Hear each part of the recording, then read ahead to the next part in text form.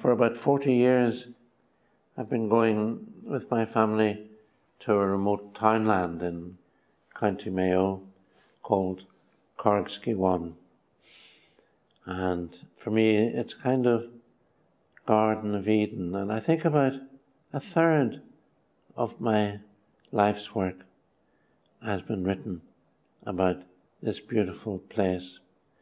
And in the following poem, I'm in Belfast remembering Carrigskeewaun and remembering a day in which all sorts of magical things happened.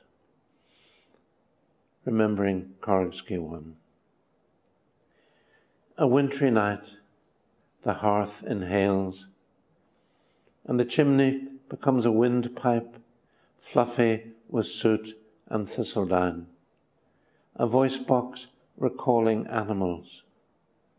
The leveret come of age, snipe at an angle, then the porpoise's demonstration of meaningless smiles.